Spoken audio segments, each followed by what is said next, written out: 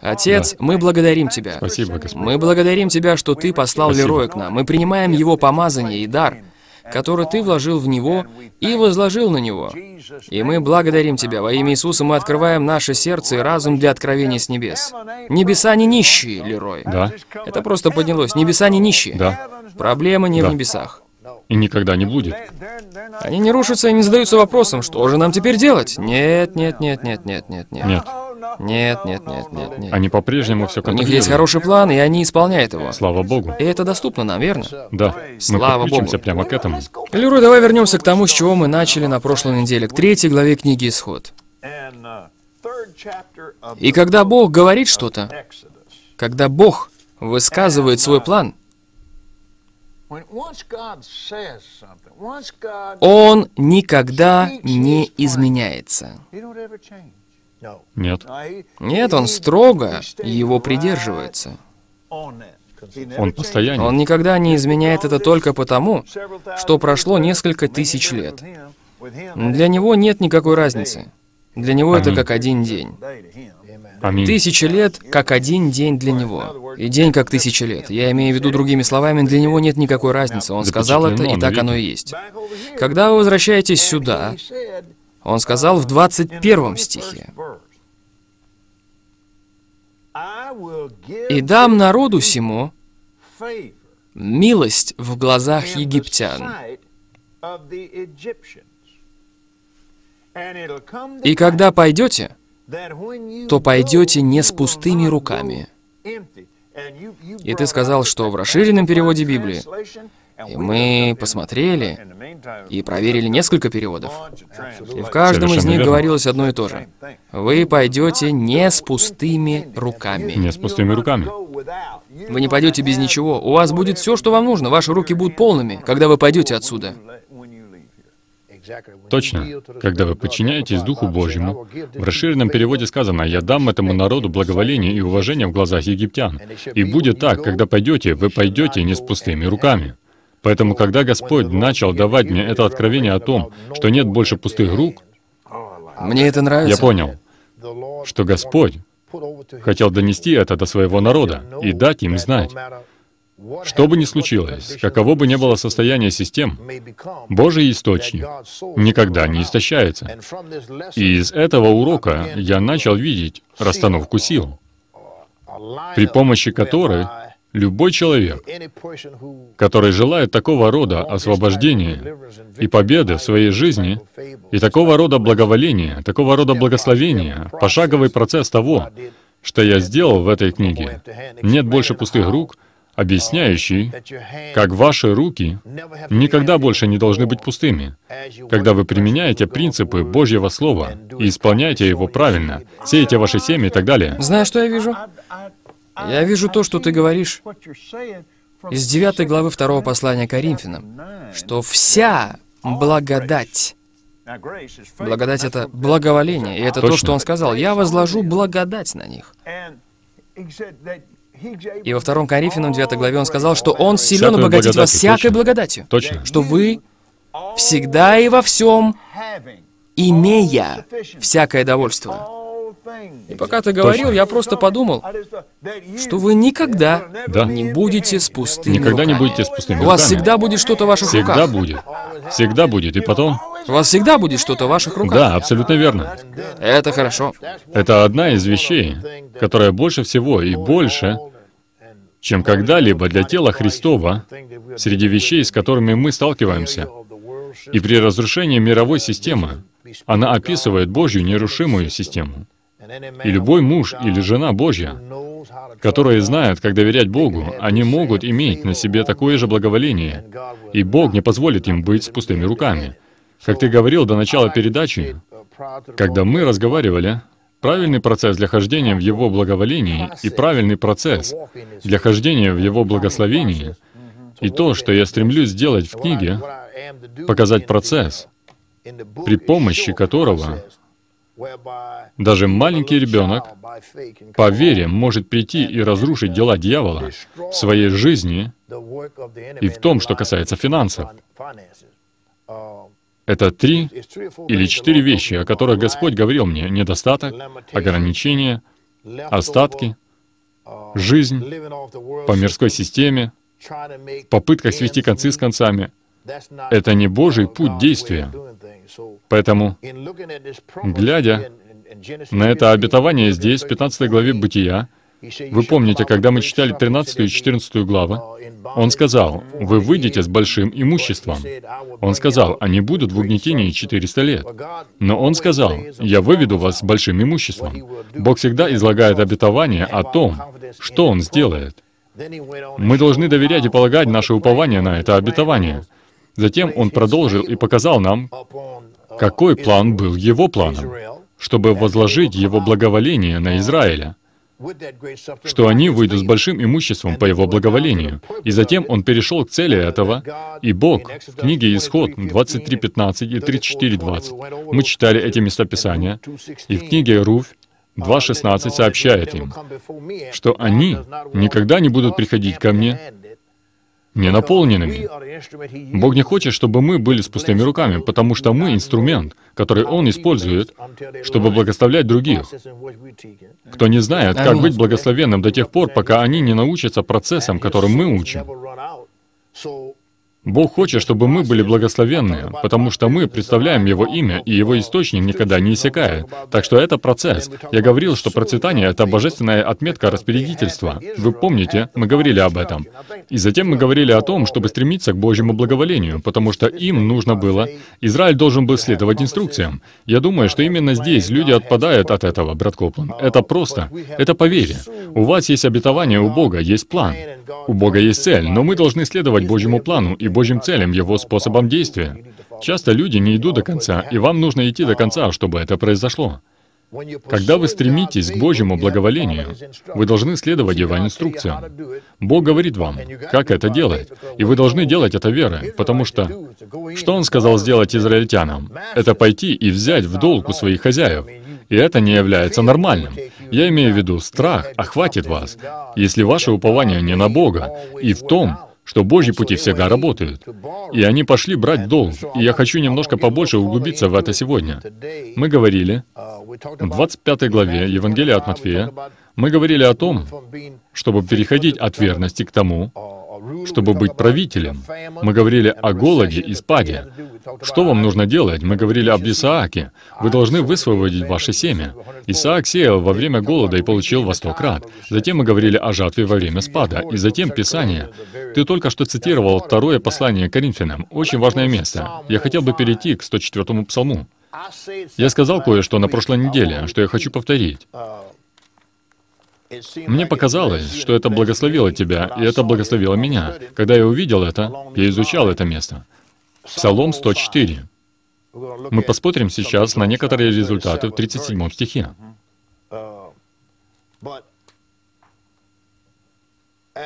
Но будучи молодым баптистским проповедником, я обычно изучал эти казни, эти чудеса, которые Бог совершил, чтобы освободить свой народ. И ты помнишь, я говорил о церквях. Мы сказали, что Иисус спасает, Иисус крестит Святым Духом, Иисус исцеляет, Иисус снова грядет. Эти четыре вещи. Но я размышлял и молился, и Господь сказал, Лерой, Одной не хватает. И я начал снова перечислять их. Я сказал, Иисус спасает, Иисус крестит Святым Духом, Иисус исцеляет. И Господь дал мне еще одну. Он сказал, Иисус дает процветание, Иисус снова грядет.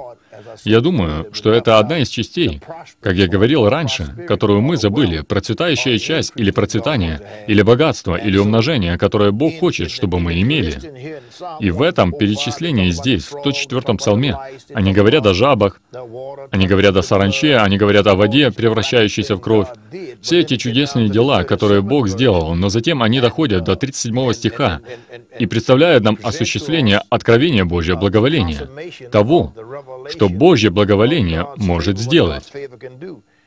И вывел израильтян серебром и золотом, и не было в коленах их болящего. Вот оно, прямо здесь. Это потому, что Он вывел их точно так, как Он обещал вывести их, давая им благоволение. Когда они брали в долг, ни один не вышел из Египта нищим.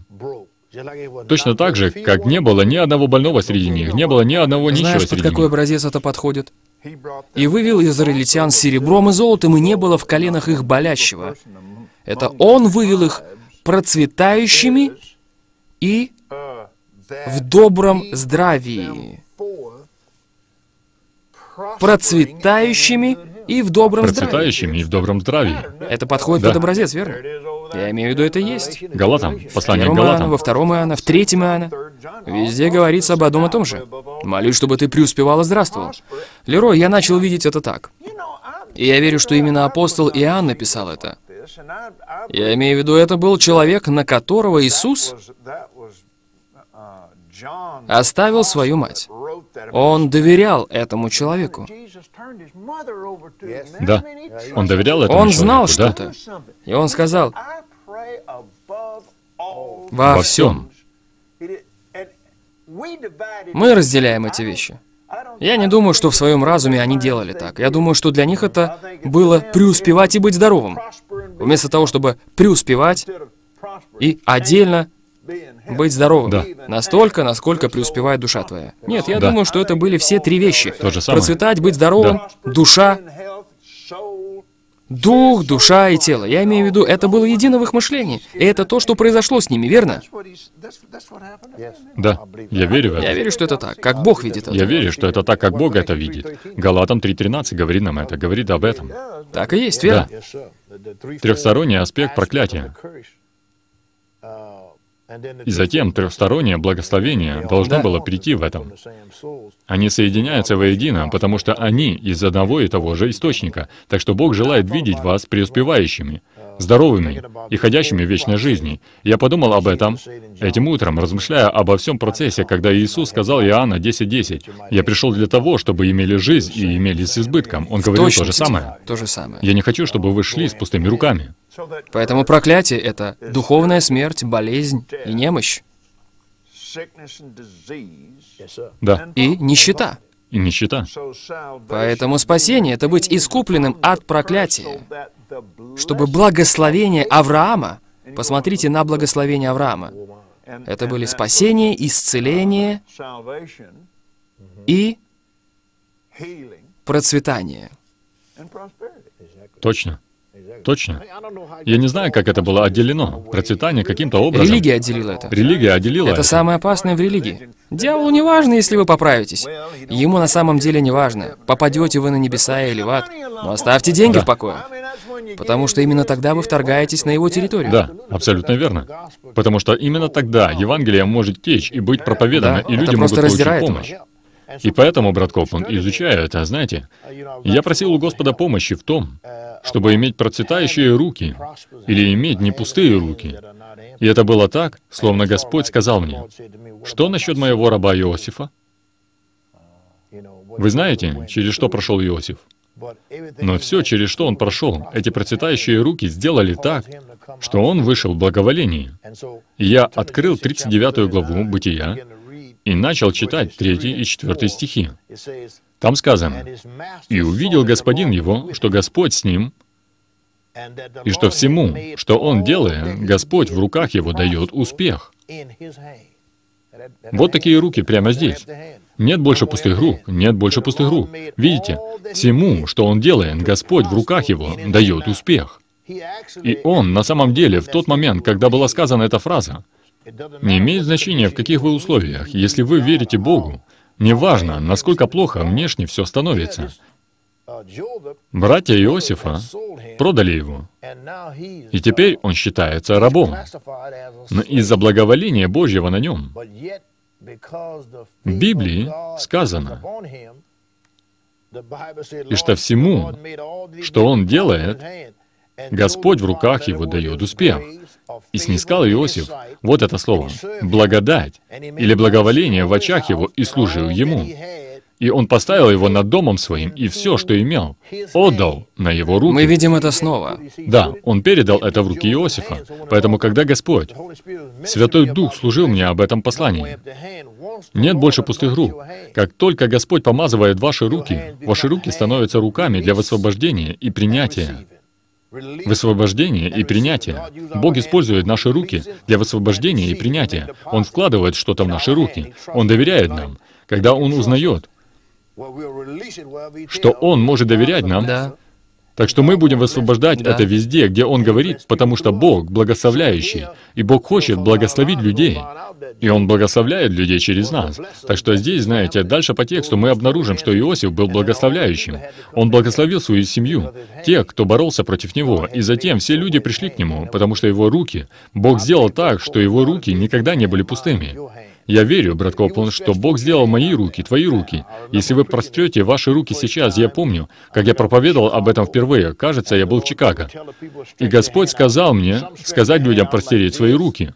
Некоторые вытянули свои руки вот так, некоторые сделали так. Но я сказал им, нет, мне нужно, чтобы ваши руки были открыты вот так. Мы говорим о принятии, и вам нужно привести ваши руки в такое положение, чтобы Бог мог наполнить ваши руки. Я хочу благословить ваши руки этим утром. Я хочу посвятить ваши руки для процветания этим утром, и я чувствую, что помазание поднимается в моем духе. Бог, эти руки простерты пред тобой по всему миру Аллилуйя. сейчас. Спасибо тебе, Иисус. мы признаем, что система этого мира потерпела финансовое поражение. У нас здесь есть Твое Слово. Мы собраны в Твое имя на этой передаче сейчас. И есть люди по всему миру, которые простерли свои руки. Отец, я молюсь, чтобы Ты посвятил и помазал эти руки. Я высвобождаю мою веру, я высвобождаю мое помазание, я высвобождаю назначение, которое Ты дал мне, чтобы благословить Твоих людей этим утром. Я провозглашаю, что эти руки, простертые перед этой телепередачей, которая идет по всему миру, руки брата Копланда и мои руки, мы осознаем, что наши руки были помазаны не только для нас, но наши руки помазаны, чтобы благословлять Твоих людей. И пусть то же самое помазание сейчас, Отец, сойдет на всякие руки, которые есть здесь сейчас. Мы благодарим Тебя за это. Мы верим Тебе об этом. Мы верим, что их финансы изменяются прямо сейчас. Те, кто страдает, те, кто в долгах, те, кто испытывает недостаток, те, кто ограничены, пусть они увидят Твое изобилие, пусть они увидят Твое обеспечение. Аллилуйя. Слава Богу.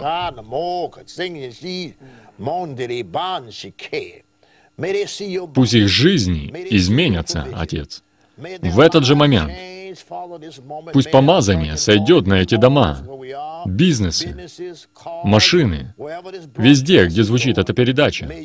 Пусть Твое Слово будет истинным, Отец. Я воздаю Тебе всю славу, всю хвалу и всю честь за результаты, что руки Твоих людей теперь благословлены. Все, к чему они прикоснутся, будет благословлено. Их руки будут помазаны, как руки Иосифа. В какой бы ситуации они ни находились, Ты даешь их рукам процветать во имя Иисуса. Слава Богу. Аллилуйя. Аминь. Лерой, у нас есть образец для этого. Они сказали, Иисус, он сказал, я хочу, чтобы вы накормили этих людей. А они сказали, у нас недостаточно денег, чтобы Да. накормить этих людей. Денег, которые у нас есть, не хватит. Люди не смогут наесться даже тем малым, что у нас есть. Он сказал, что у вас есть? Они сказали, ну, тут есть парень, у которого небольшая коробка хлебов и рыб. Но что это для, Для такого такого множества? множества, да. Он сказал, принесите это ко мне. И они принесли это ему. Он взял это в свои руки. Мы знаем, что умножение находится в его руках. Да. У нас нет никаких сложностей, чтобы верить в это. Проблема у людей в том, чтобы верить, что это передается в их руки. Да. Да. Но теперь посмотрите, что он сделал. В Библии сказано, что он благословил это. Да. Он высвободил благословение на это. Благословение Авраама — это то, в чем он действовал. Точно. Это то, в чем мы действуем. Он позаботился об этом. Он пошел на крест, чтобы благословение Авраама пришло на язычников, пришло на всех нас остальных через него. Он благословил это. Он преломил это. Но он не раздавал Да. это. Он стоял там с этим вот так. Это не превратилось в достаточно хлеба, чтобы накормить 20 тысяч человек, когда он стоял там и держал это. Но сила того находилась там. И Да. что он сделал? Он передал это ученикам, а они раздавали это. Да. И это В действительности это умножилось в их руках. Да. Он вложил силу в это. Да. Он Да. благословил это. Он высвободил это. Но умножение было, когда это попало в их руки. Их руки были полны весь тот день. И это просто продолжалось и продолжалось. Да, да. Они накормили всех, поэтому они были настолько сыты, что не могли больше есть. И потом они наполнили 12 корзин в греческом. Это корзины 12. достаточно большие, чтобы вместить взрослого Совершенно человека. верно. Их было 12. Их наполнили тем, что осталось. Совершенно верно. Разве вы не знаете? Да. Эти ребята стояли там и говорили, о, я просто продолжаю раздавать Да. это. Да. Да. И Господь, Бог всемогущий, хочет вернуть это в руки своих Да. людей. Понимаете, Иисус, мне нравится то, что ты сказал. Руки Иисуса привлекали умножение. Да. И мы применяем нашу веру. Это умножается. Он сказал, у меня нет других рук, кроме ваших исцеления. Он сказал, вы идите и делайте это. Вы возлагайте руки на больных, и они будут Да, выздоравливать. именно так. Это то же самое. Мы знаем, что Да. Он исцелитель. Но когда Он дает вам силу в Да. своем имени и Да. говорит, идите и делайте Да. это, тогда передача совершена. То же самое с финансами. Иисус Христос из Назарета жив, Он за вас, а не Аминь. против вас. И то, что Он обеспечил, так велико, так замечательно и так чудесно. И это доступно сегодня. И Лерой Томпсон здесь, чтобы рассказать вам, как ухватиться за это. Слава Богу! Слава Богу. Отец, мы благодарим Тебя, Спасибо мы тебе. просто прославляем Тебя. Мы так восхищены Тобой Спасибо, и тем, Господь. что Ты делаешь. Мы знаем, что есть много проблем и бед в мире, но Ты победитель, Да. и мы Да. победители. Позвольте мне сказать вам кое-что. Да. Не ведите себя, не говорите или не думайте как жертва. Да. Вы не жертва, вы победитель. Займите позицию победителя. Да. Займите позицию победившего, потому что когда времена становятся тяжелыми и все в мире начинает рушиться, то это время, когда верующий поднимается и становится ответом, в котором окружающие вас люди нуждаются, вместо того, чтобы быть частью проблемы. Аминь. Итак, брат Лерой, пусть Бог благословит Аминь. тебя. Благодарение Богу. Это служение вчера, на вчерашней передаче было просто абсолютно феноменальным. Слава Богу. Это все еще на мне. И Слава я, Богу. Святой Дух благословил Да. наши руки, Посвятил и помазал, посвятил и помазал наши руки. чтобы они никогда не были пустыми. Знаешь, дух перехода вы можете передавать помазание. Господь сказал Моисею, возложи руки и передай помазание на старейшин. И вчера я ощущал помазание. Моя неспособность, мое бессилие делать вещи собственными силами. Я подчиняюсь Богу.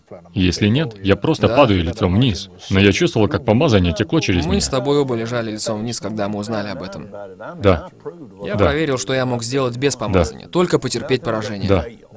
Только потерпеть поражение. И знаешь, я хочу, чтобы люди знали, те, кто смотрят эту передачу, некоторые из них проходят через что-то, но Бог послал нас сюда двух мужей Божьих, чтобы говорить Слово в их жизнь. И это слово о том, что их руки больше не будут пустыми. Если они будут следовать за процессом, мне нравится откровение, которым ты делишься. Это процесс. Я записал это где-то. Это процесс, через который мы должны пройти, и мы излагали этот процесс. Этот процесс, который установил Бог. План, который установил Бог. Но вам нужно пройти через процесс. Вам нужно иметь обетование, план, цель. Потому что если вы не знаете цели, ваши руки, ваши руки не будут полными. В Библии сказано, что Сын Человеческий явился для того, чтобы разрушить дела дьявола. Одна причина, по которой Бог хочет, чтобы наши руки были полными, наполненными, это чтобы мы могли разрушать дела дьявола, чтобы мы могли проповедовать Евангелие, Аминь. освобождать людей, делать людей свободными. Мы все должны выполнять свою часть. Это не просто.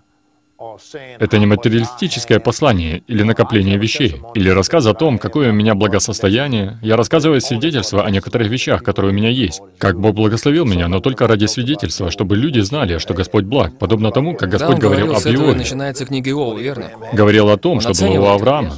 Да, верно. И поэтому мы начали. Иисус, послушай, слушаю. Иисус сделал то же самое. Везде, куда Он шел, Он проповедовал. «Дух Господень на мне, ибо Он помазал меня». Да. Да. Он не говорил это, чтобы выставить себя в лучшем свете. Он говорил это, чтобы вы знали, во что верить. Точно. И свидетельство, или свидетель. Мы являемся свидетелями. В Писании сказано, что они победили его кровью Агнца и словом свидетельства своего. своего. Да. И это свидетельство для того, чтобы прославлять Бога. Потому ни в чем и сделанного мной нет моих заслуг. Мое служение — то, как Бог благословил мое Нет, служение моих тоже нет. и благословил мою жизнь, и благословил мою семью, все это для славы Божьей. Так что, когда человек видит это или слышит это, я хочу, чтобы Бог получал славу, потому что это на самом деле от Бога. Пока вы отдаете Богу славу и признаете Божьи заслуги, у Бога нет проблем, чтобы использовать вас То, что мы на самом деле делаем, мы свидетельствуем о том слове, о том процессе, через который Бог провел нас. И некоторые из этих вещей, Лерой, потребовались годы и годы. И вам нет смысла Да. проводить годы и годы, чтобы получить то же самое. Когда нам нужно около 15 или 20 минут, чтобы рассказать вам шаги и процессы. И вы можете идти и делать это. Вот для чего Точно. мы здесь. Точно, точно. Вот для чего. Если бы я знал некоторые из этих вещей, я многому научился у тебя, когда я только начинал. Я слушал твои кассеты, читал твои книги и книги брата Хейгена. Я просиживал целые ночи, плакал, читал Да. и еще, потому что у меня было религиозное прошлое. Я был по уши в конфессиях. Я был католиком и ничего не знал об этих принципах или о том, как их применять. Все, что я знал, это идти, садиться в церковь и совершать обряды. В то время Луизиана была среди религиозных штатов, и я знал, что мне нужно было выбраться из этого. Именно тогда я начал ездить и посещать твои собрания, и посещать собрания брата Хейгена. И я ожил для этих принципов, и потом я начал применять их в моей жизни, и они произвели именно то, что все вы говорили, они произведут. Вчера мы говорили об Иосифе, 39 главе Бытия. Я думаю, что всякий, кто хочет какого-то прорыва в любых условиях, может изучать то, что случилось с Иосифом. Его семья отвернулась от него, они бросили его в яму. Кто-то сказал, что он прошел от ямы до дворца. Но все это время на нем была рука Божья. И люди замечают, когда на вас есть Божья рука. Потому что фараон признал, что Божья рука была на Иосифе. И он продолжил отдавать все в руки Иосифа. Даже когда он попал в тюрьму, в этой 39 главе, человек, который управлял тюрьмой, заметил, что во всем, к чему прикасались его руки, Бог давал ему успех. И я записал здесь утверждение. Я написал слово «привилегия», когда я читал историю о том, как Иосиф попал из своей полной горечи, ревнивой, презирающей, завистливой семьи в яму, потом в тюрьму, и затем те два человека увидели сны, и он истолковал им те сны. О нем забыли, но потом фараону приснился сон. И у Иосифа был Дух Божий, Дух Божий на нем. И он рассказал о семи тучных годах и о семи голодных годах. И тогда фараон сказал, «В ком есть столько духа? Давайте поставим его над этим». Все, что я говорю, это было помазание от Бога. Бог помазал Иосифа, чтобы его руки не были пустыми. Это все, о чем я говорю. И то, что произошло потом, я записал. Привилегия доступна каждому, потому что человек должен признавать, что его руки благословлены. Если вы признаете, что ваши руки благословлены, и применяете процесс, о котором мы говорим, тогда, брат Коплан, невозможно. Я не буду нищим больше ни дня в моей жизни.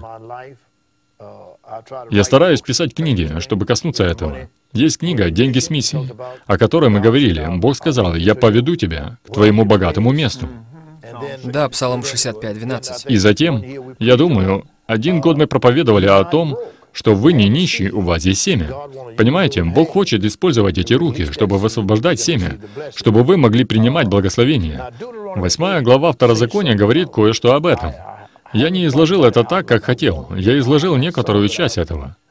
Когда он говорит, В 17 стихе он говорит в 8 главе Второзакония, «И чтобы ты не сказал в сердце своем, «Моя сила и крепость руки моей приобрели мне богатство сие». Вот где возникает проблема. Когда вы начинаете говорить о вашей силе и крепости вашей руки, это то, что удерживает ваши руки пустыми. Это то, через что мы прошли за последние несколько месяцев, когда фондовый рынок рушится. Экономика сходит с ума. Это потому, что люди думали, что они могут произвести то, что Бог может произвести. И человек подумал, что он может жить плодоносной жизнью без Бога. И система за эти последние месяцы просто рушилась. На самом деле, люди сами себя убивают. Семьи. Я читал в газете, что постоянно целые семьи страдают из-за давления, и это финансовое давление. Я говорю телу Христову, и мы будем говорить в телу Христову на этой передаче. Признайте, что это не ваше образование, это не ваша ученая степень, это не ваши способности, это не ваш бизнес, это не ваша работа, но когда рука Божья лежит на ваших руках, Ваши руки становятся Божьими руками. Вот почему наше семя. Я говорил вам, что я не могу думать как нищий, я не могу думать о недостатке, я не могу думать об ограниченности, потому что я обратил мои руки к Богу. И в этом 17 стихе Второзакония, что они говорили? Сказано, вопрос, который я написал ниже, это 8 глава Второзакония, 17-18 стихи. Вопрос, который я написал. Что происходит, когда ваши руки становятся Божьими руками. И затем в 18 стихе сказано, «Но чтобы помнил Господа, Бога твоего, ибо Он дает тебе силу приобретать богатство». И Он говорит, что Он вкладывает эту силу в ваши руки. И затем Он спрашивает, зачем? Цель. Цель. Это очень важно, потому что я всегда старался установить цель. Когда Бог дал мне откровение, деньги приходят, я знал, что я шел в церковный мир со словами, которые не так часто использовались. Потому что мы используем слова приношение и десятина, и пожертвование. Но когда Господь сказал мне в том супермаркете, деньги приходят, я знал через определенный период времени, что я должен был вынести это откровение наружу. Я знал, что это откровение, которое должно было изменить весь спектр церковного мира, я молился об этом, и я спрашивал Бога. И я вернулся к 18 стиху, но я молился об этом и спрашивал Бога. Я сказал, Бог, Некоторые люди не поймут, деньги приходят. И я просто услышал его. Он сказал, деньги с миссией. Вот когда я написал ту книгу, чтобы открыть глаза людей, которые не могли видеть откровение, деньги приходят. И здесь, когда он сказал, «Но чтобы помнил Господа, Бога твоего, ибо Он дает тебе силу приобретать богатство». Затем Господь показал мне это, чтобы исполнить, как ныне, завет Это свой. его цель. Это его цель. И это то, к чему Это вам то, к необходимо чему вам прикрепиться. необходимо прикрепиться. Аминь. Дело не в тебе. Аминь. И дело не во мне. Подумайте об этом. Притчи 10, 22. Да. В одном из переводов сказано «Благословение Господне, оно делает богатым, и Он не добавляет с ним печали». В этом переводе Библии сказано, что благословение «оно», а потом говорится, что благословение — это «он» с большой буквы. Слово «делает» здесь, оно огромное. Это огромное слово. Подумайте о том, как мир говорит. В 72-м псалме говорится о нечестивых, которые собирают богатство. В 72-м псалме делается утверждение. Вот, говорит он, смотри, вот эти нечестивые благоденствуют в веке сем. Они благоденствуют не в Боге. Ты упоминал это раньше. Да. Все то, что строит мир, они не процветают в Боге. Они даже не хотят, чтобы вы упоминали Бога. Вы держите Бога Нет, на вашей нет, церкви нет. и не приходите сюда на Уолл-стрит. Держитесь подальше от. Держитесь подальше от правительства. Да. Да. Мы не хотим ваши 10 заповедей. Мы не хотим ничего из вашего здесь. Мы сделаем вот это. Лерой, Потому что они не верят. Они не верят, что Бог всем управляет. Они верят, что они управляют. они узнали, что это не так, да, верно? Да. Я наблюдал за этими людьми. Как они полны страха. Страх просто везде, потому что их система рушится. И они собирают деньги, которых у них даже нет. и вбрасывают их, Да. пытаясь исправить это, и это не работает. Да. Смотрите, что здесь сказано, что они делают. 72-й. Они благоденствуют. Какой стих? 72.12. Хорошо. Эти нечестивые — это люди, которые не хотят Бога в своей жизни. Они не хотят слышать это. Они благоденствуют Это веки сем, умножают богатство. Они делают это. Да. Но теперь здесь в притчах, в 10 главе, в 22 стихе. Прислушайтесь к этим словам. И вот что они говорят. Кто-то должен зарабатывать на жизнь здесь. Да. Я должен зарабатывать на жизнь, я делаю деньги, я заключаю сделки, я достиг всего Да. сам. Да. Мое образование сделало это возможным для меня. Да. Делать сделано, делать сделано, делать Да. сделано. Знаете, я это сделал. Но здесь сказано, благословение Господне, оно, Оно делает Делает. богатым. это совершенно Да. иначе.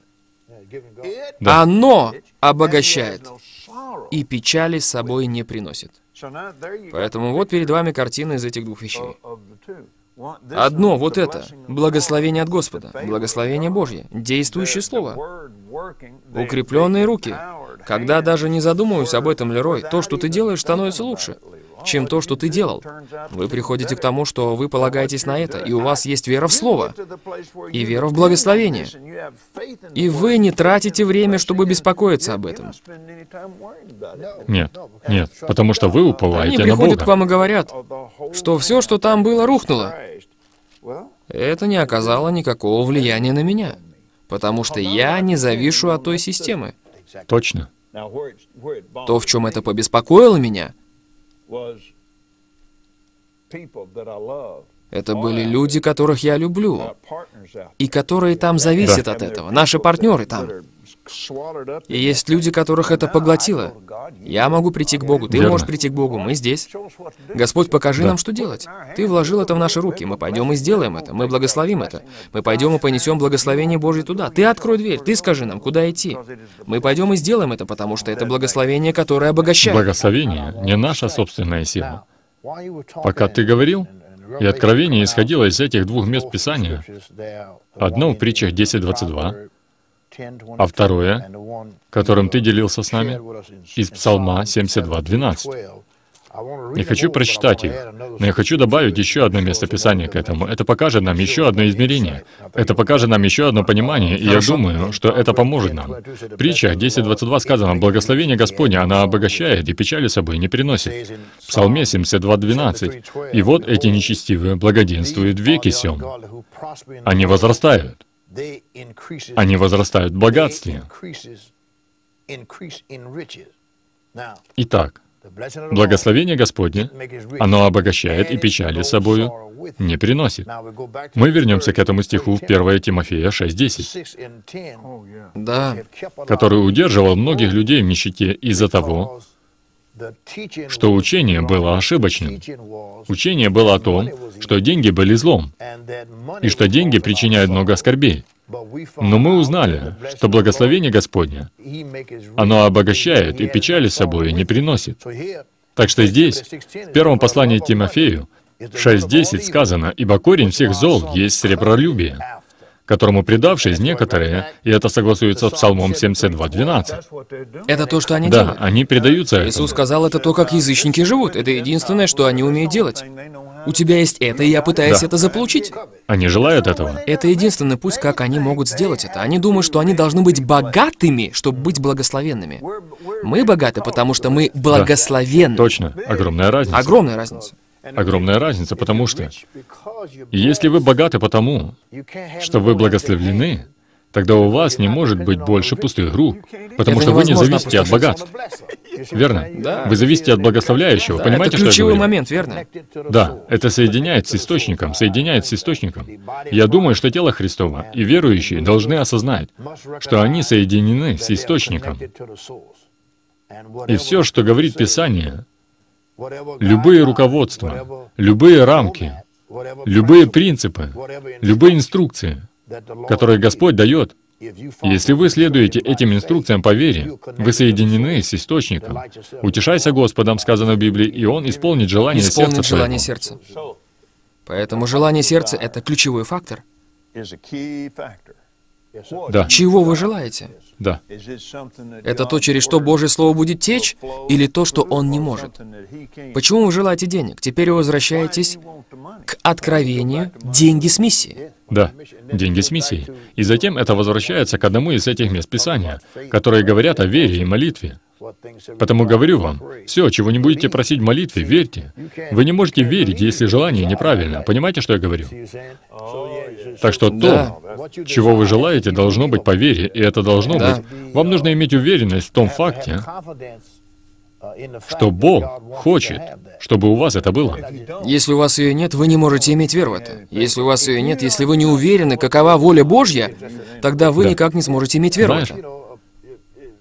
Брат Хейген все время говорил, молитва без Слова Божьего подобна тому, что человек, молящийся в темноте. Это правда. Понимаете, что я говорю?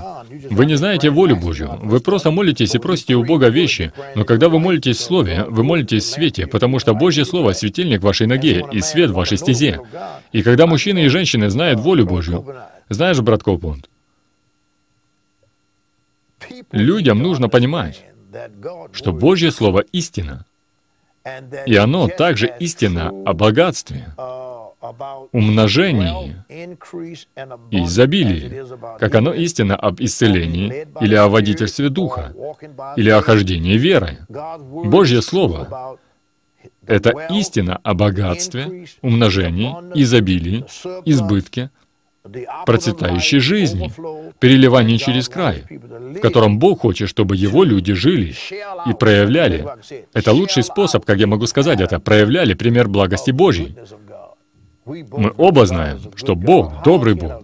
Как может добрый Бог, как может добрый Небесный Отец оставить нас в таком состоянии, когда наши нужды не восполнены?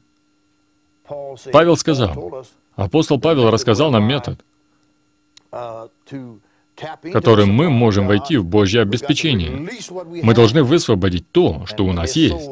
И когда они сеяли, даже в первом послании к Коринфянам, эти две главы, 2 Коринфянам, 8 и 9 главы, там говорится, что они добровольно отдавали из своей бедности. Они отдавали. Но вы приходите в девятую главу, вы приходите в девятую главу и видите откровение, которое он сказал.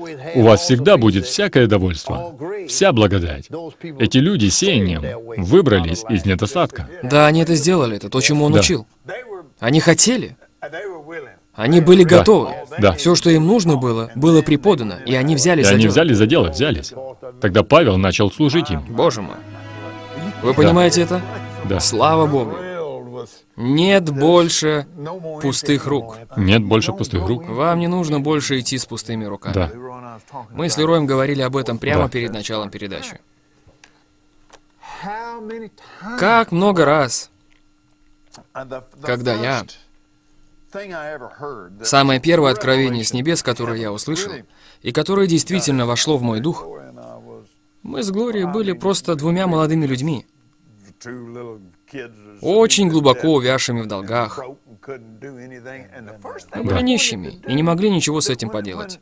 И первое, что я захотел сделать, когда я услышал то, что проникло в мой дух, потому что я слышал много Да. религиозных вещей в течение трех или четырех лет.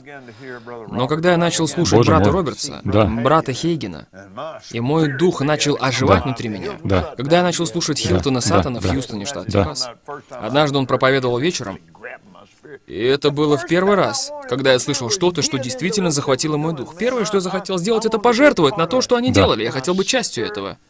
И я сидел там ни с чем, пустые руки. Неважно, что Пустые я хотел руки. делать, мои руки были пусты. Машина, на которой мы ездили, просто ездила на нас.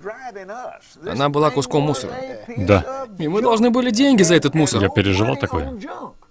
Так было и со мной. Понимаете? Да, и нам нужна была одежда. Я хотел давать, но у нас были пустые, Пустые руки, да. руки. Но больше нет. Когда Господь... Вот что произошло со мной, брат Копланд. Когда откровение, деньги приходят, пришло ко мне в том супермаркете, происхождение всех этих других откровений. И я верю, что они пророческие. Они приходили ко мне по одному. Когда я читал этот отрывок Писания, Я тогда еще не читал это в другом переводе. Он сказал, что они не уйдут с пустыми руками. И я услышал слова «нет больше пустых рук». Я не читал другие переводы, и позже, месяцы спустя, я прочитал перевод, в котором говорилось «нет больше пустых рук». И я знал, о чем Бог говорил. Но я нуждался в Духе Святом, чтобы помочь мне понять это и расставить это по местам, чтобы я мог делиться этим с телом Христовым, тем, что он имел в виду, говоря «нет больше пустых рук». И одна из вещей, затем он показал мне это, я не хочу, чтобы они приходили предо мной с пустыми руками. Это самое первое, верно? Это было то, что беспокоило меня, Лерой. И это то, что беспокоит Бога, потому что когда мы приходим перед Богом с пустыми руками, это не дает Ему привилегии благословлять нас так, как Он жаждет благословить нас. И Он, во-первых, Он должен научить вас узнавать семя, потому что я верю, что во всех трудностях, через которые мы прошли, было семя, которое ускользало между нашими пальцами каким-то образом, потому что Он сказал, что Он даст семя сеющему, но нам нужно было понимать, чем было сеяние, мне самому, и тогда я понял смысл семени, понял смысл сеяния. Затем я, Бог учил меня различать определенную почву, чтобы сеять в ней. Лерой, и вот затем все это началось. долги. Если бы вы не были с пустыми руками, вам бы не нужно было брать долг у кого-то. Это, когда ты сказал долг, образ жизни в кредит и в долг, это обычный образ жизни для людей сегодня. Для людей сегодня. Да, Займы и долги. это просто переполнило меня, когда я впервые увидел это в Слове Божьем. Не оставайтесь должными никому ничем, кроме взаимной любви. И чем больше я смотрел, тем больше я Да. находил по всей Библии мест, Избегай долгов, да. избегайте долгов. Ты можешь давать долг, но не бери в долг. И первое, о чем я подумал, Да. Как же тогда у меня что-нибудь будет? И мой разум был запрограммирован на то, чтобы всегда быть с пустыми руками. У меня ничего нет. Я должен пойти и взять в долг, чтобы сделать нечто Каждый раз, большее. когда ты делал это, ты уходил дальше и дальше от того, что Бог хотел, чтобы ты имел. Потому что теперь вы должны больше, чем у вас Сердце. есть, и теперь ваши руки будут оставаться пустыми все время. Именно такова мирская система. Они все начинают с кредитов. Жизнь в мирской системе — это образ жизни в займах и долгах. Именно так ты написал. об Образ жизни в займах и долгах. Вот в чем все дело. Затем, знаете, богач и Лазарь.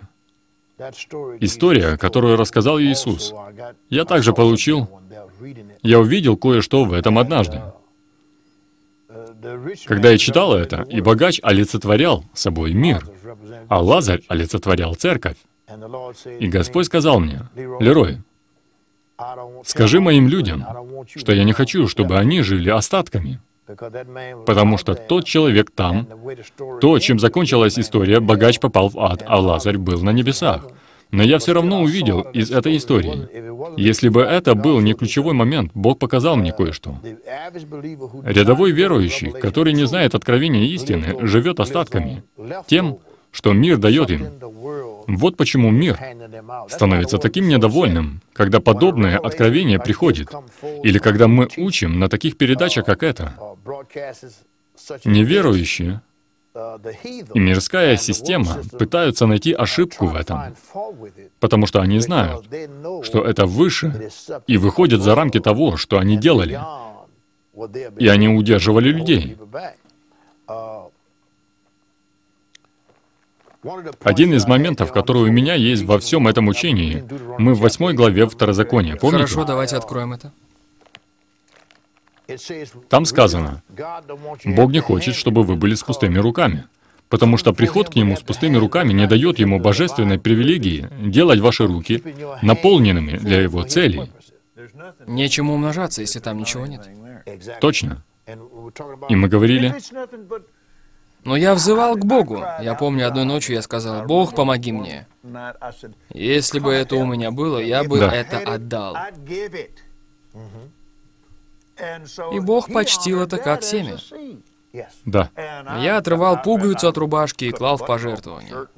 Но Он уважал мое сердце, и мне никогда не приходилось делать это снова. Это то, с чего ты начинаешь. Да. Ты начинаешь с сердца. Вам нужно начинать с сердца. Сердце должно быть правильным. Если сердце неправильно и разум не обновлен, понимаете, это сердце, разум и руки. Понимаете, что я говорю? Да. Ваш разум должен быть правильным, ваш разум должен быть обновлен. Потому что доброхотно дающего любит Бог. Он говорит, тот, кто поставил цель в своем сердце, тот, кто желал, вы понимаете, что я говорю? И вы не можете делать это сами по себе. Это должен быть Дух Святой, помогающий вам. Но когда мы говорим о том, чтобы идти этим путем, мы говорим о Второзаконии 8 главе, 17 и 18 стихах, о мирской системе. Вот что они говорят. И вот почему Бог предупреждает своих людей. Не говорите так, чтобы ты не сказал в сердце твоем. Это их сердце, вот здесь. Да. Чтобы ты не сказал в сердце твоем. 17 стих. «Моя сила и крепость моей руки приобрели мне богатство сие». Он говорил к ним, потому что Он благословил их. Это те же самые израильтяне. Он тот, кто дает им благоволение. Он тот, кто питал их манной с утра и перепелами вечером. Он тот, кто заставил воду течь из скалы. Он тот, кто дал им благоволение в глазах египтян. И они обобрали египтян. Он тот, кто вывел их столпом облачным днем и столпом огненным ночью. Бог сделал все это, и теперь они входят в эту землю. И Он сказал, «Я не хочу, чтобы вы говорили о ваших руках, потому что не ваши руки сделали это». Он говорит, «Вы были приведены сюда моей рукой, и вы воздавайте мне славу. Я тот, кто дает вашим рукам силу приобретать богатство». Возвращаясь к никогда не Иосифу, оставлял Иосиф знал оставался это. Вот почему Иосиф продолжал получать У него были повышение. те два сна. Когда ему было 17 лет, у него был первый сон. И вы должны помнить, что у них не было Библии. Верно? И Бог уже сказал Исааку, когда тот был ребенком, «Я исполню клятву, которой я клялся отцу твоему Аврааму». Но теперь Вся та семья отошла от того, что Бог пообещал Аврааму, они стали Точно. жестокосердными и так далее. Так что для того, чтобы исполнить это, Бог сделал, чтобы пророк родился в их семье. Да. Его назвали Точно. Иосифом. И когда ему было 17, Бог дал ему сон. И затем он дал ему еще один сон, чтобы подтвердить это. И этот молодой человек никогда не позволял этому сну уйти. Он оставался с этим. И это сделало его премьер-министром самой большой нации на Земле. Совершенно верно. И если вы остаетесь с Богом, Бог сделает то же самое и с вами. В черновиках к этой книге на эту тему. Первое лекарство от пустых рук — это быть расположенным для финансового благоволения Божьего. И в Исаии 1.19 сказано, «Если захотите и послушаетесь, то будете вкушать благо земли. Если вы хотите. Да. Если вы хотите. Можно сказать так, если захотите и послушаетесь, тогда я наполню ваши руки. Я наполню ваши руки. Точно. Вы можете посмотреть Эти все эти местописания. Да. Быть верным, иметь желание, быть послушным, быть готовым делать все, что Он говорит вам делать. Это главное. Глядя на Иосифа и на то, как Бог давал процветание Иосифу, у Иосифа было божественное благоволение в его руках. Мы видели, как он получал повышение за повышением. Если вы прочитаете 39 главу Бытия, вы увидите все это, как Иосиф постоянно получал повышение. Я хочу привести нас к месту Писания в Ефесян 3.20, и мы перейдем ко второму посланию к Коринфянам 9.8. Мы говорили о них, но я изложил это в книге таким образом. На самом деле, я задал вопрос, каким образом многие верят, что Бог может наполнить ваши руки? И я предлагаю этот вопрос тем, кто смотрит и слушает нас. Я знаю, что многие из тех, кто смотрит и слушает нас, проходят тот же самый путь, которым прошли мы с братом Копландом. Наши руки были пусты. Мы любили Бога, мы молились, мы прославляли, мы читали Писание, мы размышляли, но по-прежнему наши руки были пусты. И некоторые люди, которые смотрят и слушают нас, я знаю, что они действительно искренние люди. И они взывают и говорят, «Брат Копланд, брат Томпсон, да, я слышу вас. Расскажите мне немного больше об этом». Так что вопрос здесь. И я задал этот вопрос в книге, как многие верят в то, что Бог может наполнить ваши руки. И я записал это утверждение. Бог способен, и Он желает. Бог способен, и Он желает. Есть два места Писания, известные места Писания. Но давайте посмотрим на них. Ефесянам 3.20 и 2 Коринфянам 9.8. Я собираюсь прочитать второе послание Коринфянам в расширенном переводе Библии. Ты цитировал его на передаче, но там сказано «А тому, кто способен сделать». Кто способен сделать. Кто способен сделать несравненно изобильно больше того, о чем мы просим. Вы должны помнить откровение, которое пришло,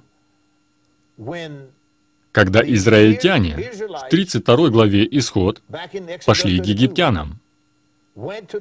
И он сказал, Бог сказал, что женщины это сделают. И мы смотрели в послании к евреям, и там сказано, что они просили.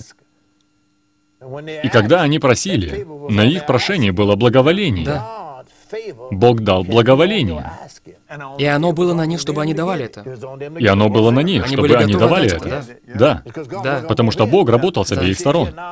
И Он говорит здесь, «А тому, кто способен сделать несравненно изобильно, больше того, о чем мы просим или думаем, согласно силе, которая работает в нас». И мы говорили, что ваш разум должен быть правильным. Да. Вот почему Павел сказал в послании к римлянам 12.2 про обновление ума вашего. Не сообразуйтесь с этим миром.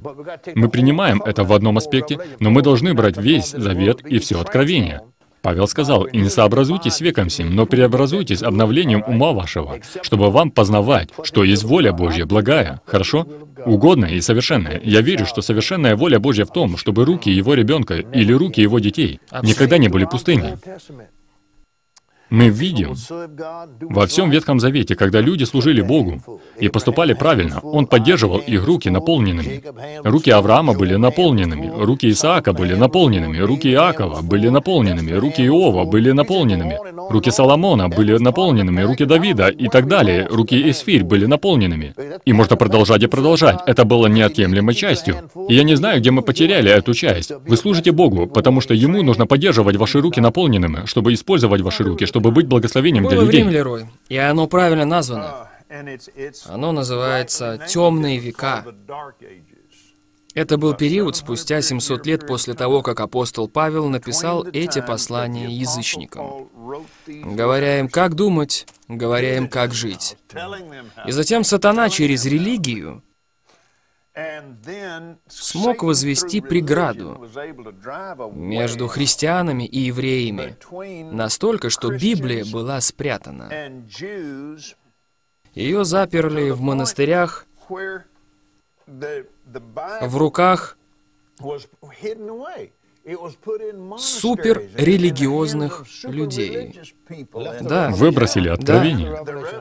Да. И откровение. То, что произошло, они начали приносить откровения нищеты из восточных религий. Да.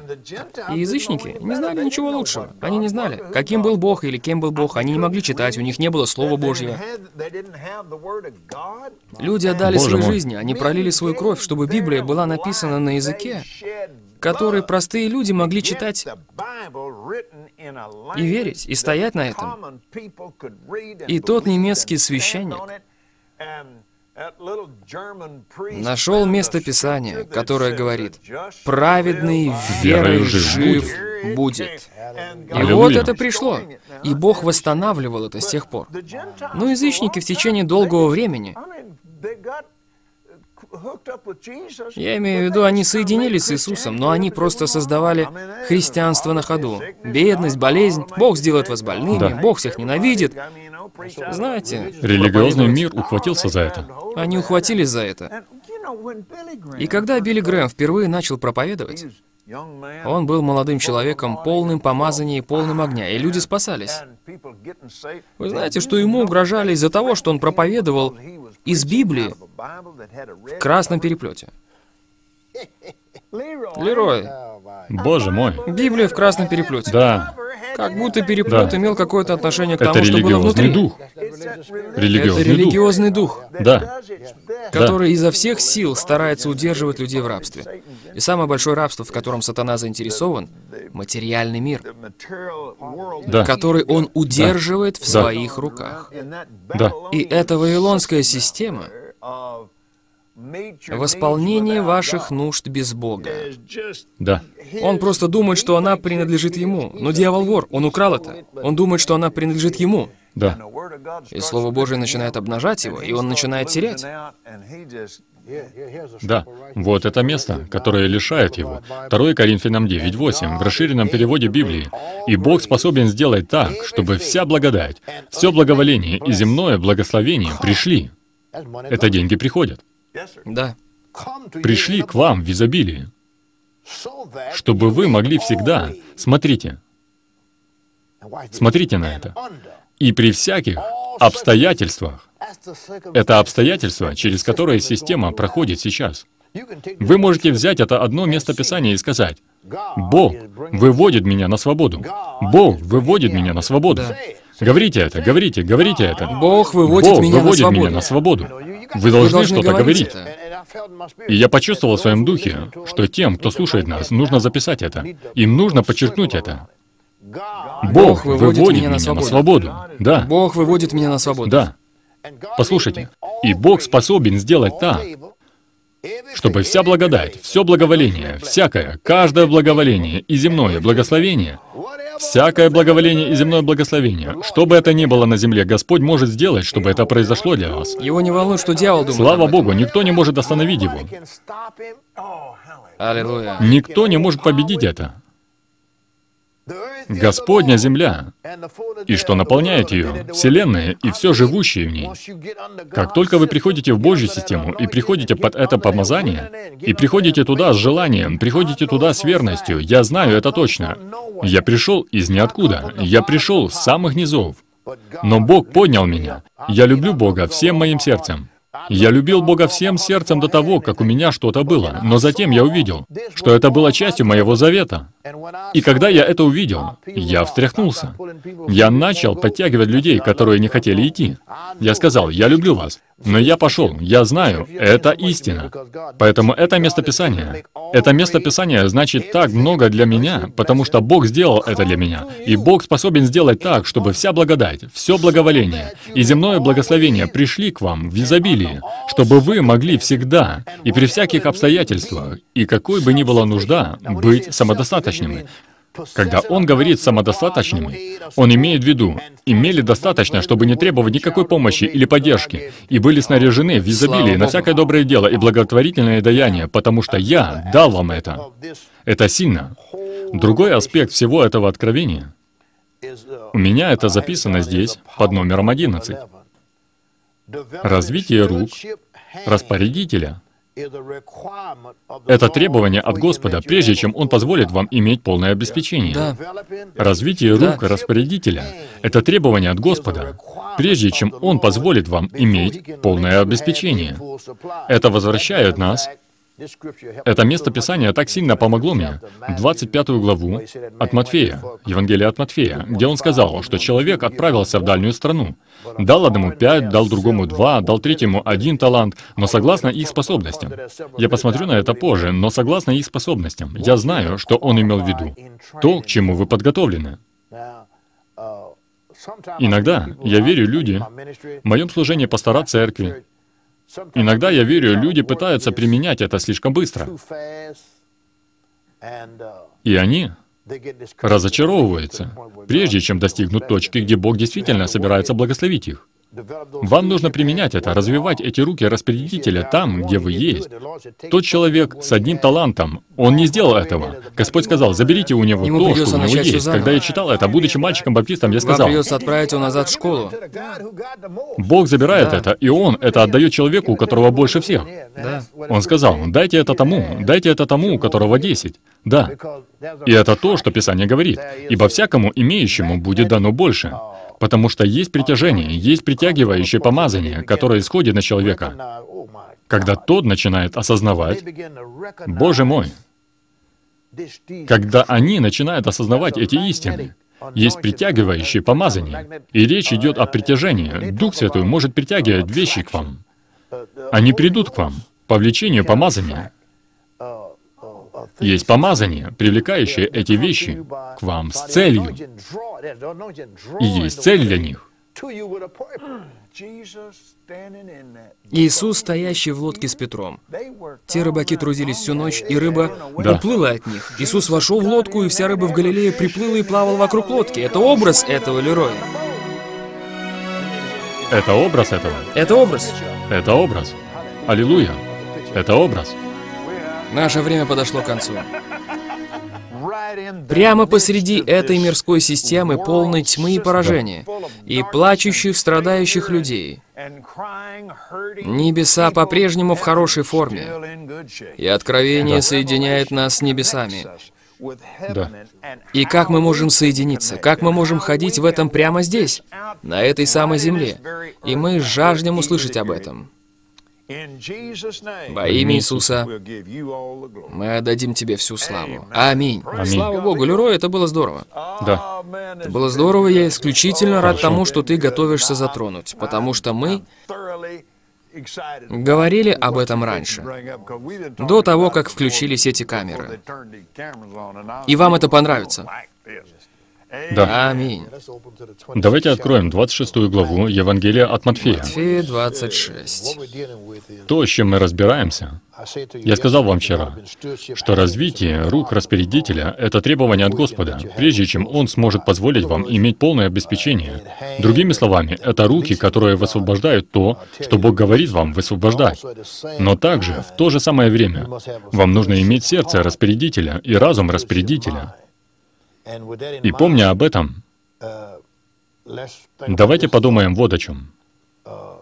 Использование ваших рук, чтобы благословлять Божью работу, использование ваших рук.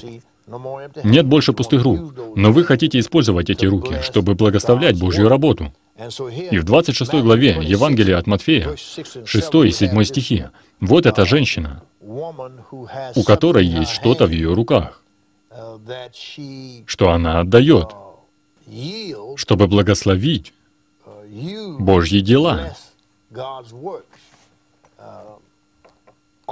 Религиозные люди не поймут этого. Не поймет. Потому что даже сами ученики, которые были с Иисусом, не понимали тех, кто делал подобные вещи. Поэтому я хочу прочитать эти два стиха и поговорить об этом, потому что ваши руки ваше сердце и ваш разум должны быть настроены в унисон с Духом Божьим, чтобы правильно действовать с полными руками. Лерой, мы увидим здесь да. кое-что. Распорядительское управление. У мира одна идея об этом, а у Бога другая. Да. И попытка использовать мирское представление о ценностях. Что хорошо, а что нет. Что важно, а что нет в теле Христовом. Приведет вас к проблемам, которые больше, чем вы можете. Это будет удерживать ваши руки пустыми всю вашу жизнь. И мы видим это в церквях, мы видим это. Но Господь просто пришпорил меня прямо сейчас. Мы посмотрим на это здесь, Точно. это важно. Слово «ценность» — это слово разожгло что-то. Вы должны понимать откровение, чтобы иметь способность понимать ценность. Вы должны понимать поручение, чтобы понимать широту работы Царства Божьего. Если вы не знаете ценности этого, как вы можете быть распорядителем да. этого? И именно здесь ваш разум должен быть обновлен. И это то, где ваше сердце должно быть пропитано Словом Божьим и Духом Святым. Так что мирская система или голос мира не может отвлечь вас от того, что Бог сказал вам сделать, неважно, что они говорят. Потому что вы не можете отвлечь их от того, что мирская система сказала им делать. Они просто делают это. И знаете, я говорю, что мы, как христиане, не можем бояться благословения. Я не боюсь благословения. Я признаю, что человек ничего не принес в этот мир и ничего с собой не заберет. Я понимаю это. Но я понимаю, что Бог сказал, что Он сделал вас благословением, а вы не можете быть благословением, если вы не благословлены. И Божьей работе нужны руки, мужчины и женщины, такие, как твое служение и мое служение, в котором есть мужчины и женщины, которые объединились вместе с нами, чтобы позаботиться о том, чтобы Слово Божье проповедовалось по всему миру. И так важно, чтобы мы понимали это. Поэтому в Матфея 26.6 сказано, «Когда же Иисус был в Вифании, в доме Симона, прокаженного, приступила к нему женщина с алавастровым сосудом мира драгоценного, драгоценного, и возливала ему, возлежащему, на голову. Вот женщина, у которой было что-то в руках. Оно драгоценное. Господь вложил это в ее руки. Затем Он попросил об этом. «Излей это на моего сына». Она послушалась, что означает, что ее руки, ее сердце, ее разум были сосредоточены на распорядительстве. Вам нужно сосредоточить все эти три аспекта на распорядительстве. И затем мы видим это. Это прекрасно, это откровение. Что неважно, насколько наполненными могут быть ваши руки, неважно, что есть в ваших руках, это принадлежит Богу. Когда вы принимаете это в ваше сердце, когда вы принимаете это в ваш разум, тогда Бог может доверять вашим рукам. В распорядительстве в том же самом процессе. Точно так же, как и любой работодатель, Бог позаботится о тех, кто исполняет Его волю на земле. Так что ваши нужды, ваши желания, ваши мечты, Бог исполнит их благодаря вашей верности, вашей готовности и вашему послушанию. Естественно, мирская система, человеческое мышление, религия, традиции — конфессии, общины людей, которые не следуют за Словом, не поймут это. И эта женщина, эта женщина, сами ученики не поняли цели. Вам нужно понимать цель изобилия, цель умножения, цель богатства. Без знания цели эти вещи разрушат вас. Они разрушат вас. Абсолютно верно. Понимаете? Поэтому через откровение Бог открыл цель. Когда человек узнает, что цель в том, чтобы прославлять Бога и возвеличивать Иисуса, и продвигать Божью работу по всей земле всеми силами, тогда вы готовы, потому что Бог готов использовать вас. Если я собираюсь быть распорядителем твоего бизнеса и твоих денег, и выполнять и твоего имущества. Я собираюсь выполнять хорошую работу в этом. Мне придется узнать то, что важно для тебя, а не то, что важно Точно. для меня. Мне придется узнать, что по твоей оценке. Это твоя собственность. Я должен узнать, что ты считаешь ценным и не таким ценным, или, возможно, совсем не ценным. Каковы твои желания? И я должен подстроиться под тебя. Если я прихожу туда и пытаюсь управлять твоими вещами, с моими идеями, Да. Да. и ты считаешь что-то ценным, а я выбрасываю это в мусор, у меня проблемы. Потому что это было чем-то, что тебе действительно было нужно. Да, знаешь, что я увидел, когда ты сказал это? Также, когда ты преследуешь мои цели, и ты начинаешь делать вещи точно так, как я хотел бы, чтобы они были сделаны, теперь в моих интересах благословить тебя, потому что я знаю, что я могу доверять тебе.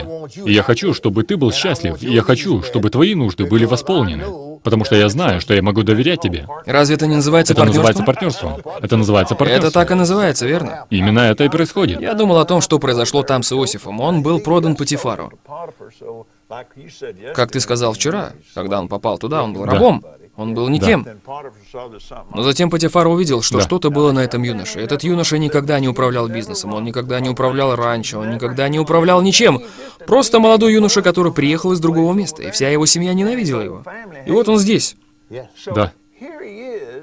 Но Патифар увидел что-то в нем. И Иосиф начинает работать с ним, и он начинает преуспевать, и в конце концов, этот армейский генерал и большой землевладелец, он, наконец, передал все, что у него было, Иосифу. И Патифар стал богаче благодаря Иосифу. Благодаря Иосифу. На нем было помазание благоволения. Да. Помазание. И мир способен заметить помазание. Мир может различить Патифар увидел, это хороший бизнес. Да. Чем больше я передаю дела ему, тем лучше бизнес. Точно. Точно. Он бизнесмен. Так что он увидел хороший Да. бизнес. Он набросился на это. И здесь эта женщина взяла драгоценное мира и излила его на Иисуса своими руками распорядителя. Мы можем сказать, что ее руки были руками, не пустыми руками, руками, наполненными с целью. Мы знаем, что она помазала его для его погребения. И ученики, вот что произошло. Вот к чему вам нужно приготовиться. Когда Бог начинает благословлять вас, и вы начинаете действовать в благоволении Божьем, действовать не с пустыми руками, есть люди, которые не поймут. Вы должны ходить в любви. Вы должны ходить в доброте. Вы должны ходить в прощении к ним, потому что здесь, в восьмом стихе сказано, «Увидев это, ученики...» Послушайте, что он сказал. «Увидев это, ученики...» Увидев что? Увидев женщину в ее распорядительстве, опустошающую свои руки в настоящий момент для Иисуса, и она сделала это, я знаю, что это было семенем. Так что, когда она опустошила свои руки, ее руки должны были вот-вот наполниться снова, потому что Господь не позволит вам сеять без жатвы. Вот что они сказали, увидев это, ученики его, в восьмом стихе, вознегодовали и говорили. Вот что они говорили. К чему такая трата? Ибо можно было бы продать это мира за большую цену и дать нищим. Знаете, мы должны заботиться о нищих. И именно здесь поднимается вопрос пособий. Они на самом деле не заботятся о нищих. Я разговаривал с моим сыном, Лероем-младшим. Мы летели вместе, и мы с Лероем сидели в самолете и разговаривали. И Лерой сказал, «Если бы у меня был шанс управлять этим, я бы давал им. Он был мягко. Он сказал, я бы давал им пять лет. Я буду помогать вам, если у вас родился ребенок и так далее. Я буду давать вам пять лет. И я сделаю так. Я помогу вам найти няню. Вы пойдете учиться, вы найдете себе работу, и через пять лет вы уйдете с пособия. Понимаете? Но они превратили это в образ жизни, и я думаю об этом, когда я читаю это. Нищие должны быть научены, они должны быть наставлены в этом послании, не просто получить подачку, потому что это препятствие для них, если человек все время дает вам что-то. И эти ученики не поняли. Это то же самое, когда я летаю в собственном самолете. Я прилетел сюда, чтобы быть с тобой на этой передаче. Я пастор церкви. У меня есть призвание ко всему миру. Проповедовать это послание. Я был прошлым вечером в другой части Техаса. Прилетел сюда. Если бы у меня не было моего самолета, я не смог бы быть во всех этих местах, чтобы служить так, как Бог хочет, чтобы я служил. Но люди со стороны посмотрят и скажут, Зачем проповеднику самолет? Для чего он это делает? Они должны продать Что самолет и раздать это нищим. Что они хотят? Они хотят, чтобы мы ездили на лошадях? Как я доберусь из Техаса в Дерров на лошади? То, о чем он думает, это то же самое. В Иоанна 12.6 сказано, что Иуда был тем, кто сказал это, не потому, что он заботился о нищих, Он хотел это. но потому, что он был вор. Он был вор. Вот мирская система, которая не видит ценности в Иисусе. Они не видят ценности в тебе. Боже мой. Они не видят ценности во мне. И дьявол не хочет, чтобы кто-то видел ценность в тебе или во мне, или в Иисусе, потому что он не хочет, чтобы они видели ценность в этом послании. А это такое послание, которое производит веру. Вера приходит от слышания, а слышание от Слова Божьего. И затем, как я сказал, затем мир. Одно дело, когда мир не видит в этом ценности.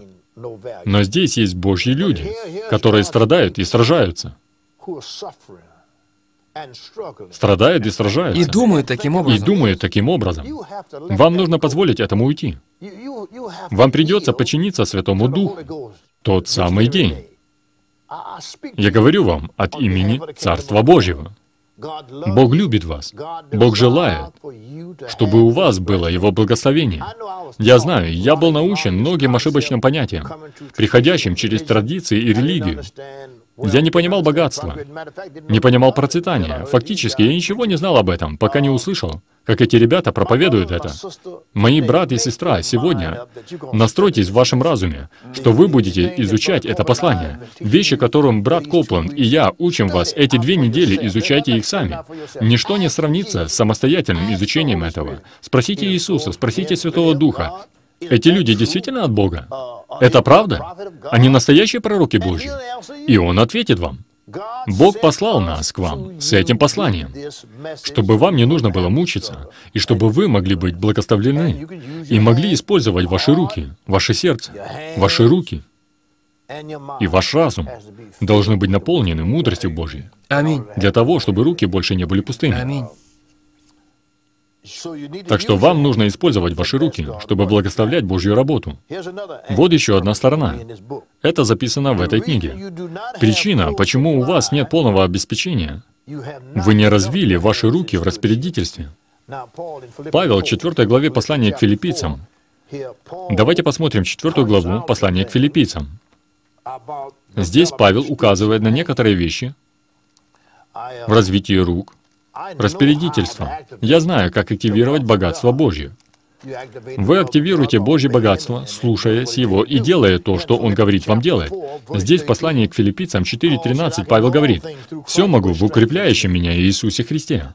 Впрочем, вы хорошо поступили, приняв участие в моей скорби. Он сказал в 15 стихе, мы читаем, «Вы знаете, филиппийцы, что в начале благовествования, когда я вышел из Македонии, ни одна церковь, Здесь сказано про оказание участия. Он говорит об операции финансового распорядительства. Не оказала мне участие подаянием и принятием.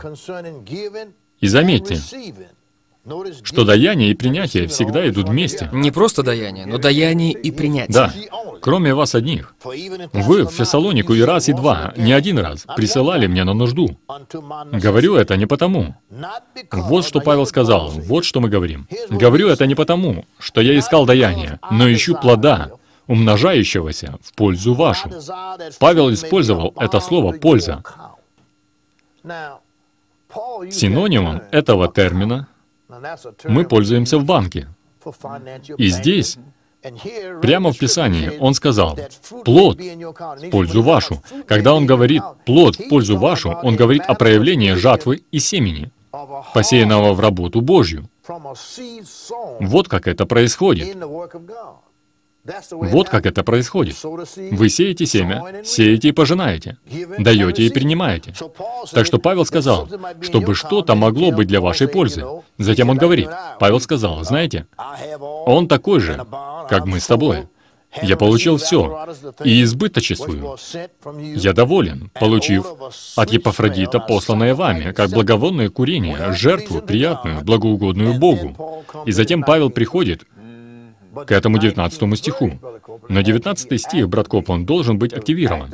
Он был активирован с 15 стиха. Да. Затем Павел сказал, «Бог мой, да восполнит всякую Вы не можете вашу получить по 19 богатству». стих без 15 16 Нет, это 17 невозможно. Да, 15 16 17 Знаете, соотнесите это с тем, что думали ученики, и тем, как они думали, что подобно тому, как мир думает, пока они не научились лучшему позже. А Иуда так и не научился, он убил себя из-за этого. Но подумайте об этом. Они назвали это напрасной тратой. Самое важное для Бога Это проповедь Слова Божьего. Проповедь Слова. Наименее важное в разуме мира — это проповедь Слова Божьего. Когда система ценностей, когда вы узнаете, что ценно в Божьем разуме, эта церковь в Филиппах, они просто продолжали сеять после того, как он уехал из города. Другие нет. Почему? Это не было настолько важно для других, насколько это было важно в разуме этих людей. Верно. Поэтому еще одна вещь, которую я отчетливо увидел, пока ты читал это.